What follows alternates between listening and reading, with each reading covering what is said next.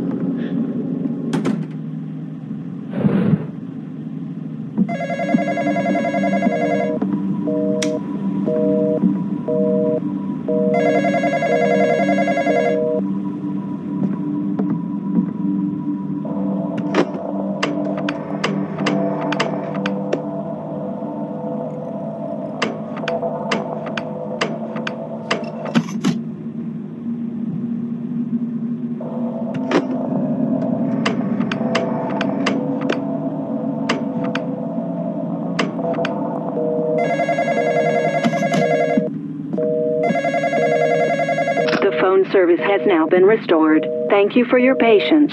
We can now start taking calls.